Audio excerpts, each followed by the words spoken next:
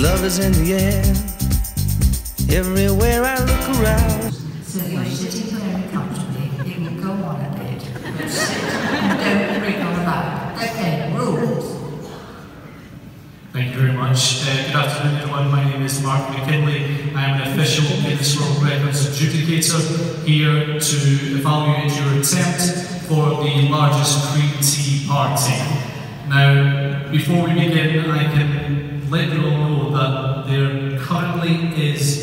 enough people in this room to break the records.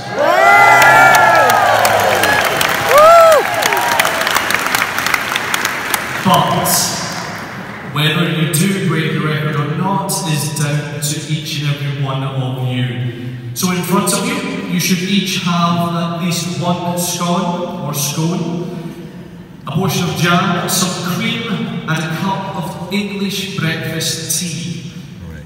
Now, in order qualify for this record and in order to be counted towards the total of this record, you need to consume all of your scone and drink all of your tea, as well as putting cream and jam on your scone.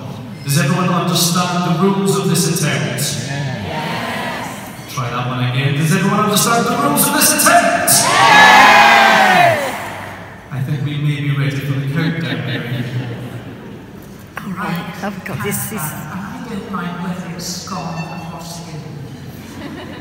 so, are you ready from five? Five, four, three, two, one. Away!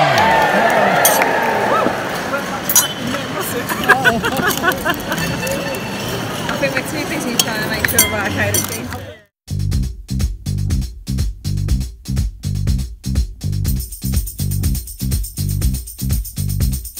Love is in the air. Everywhere I look around.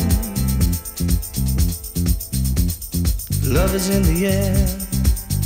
Every sight and every sound.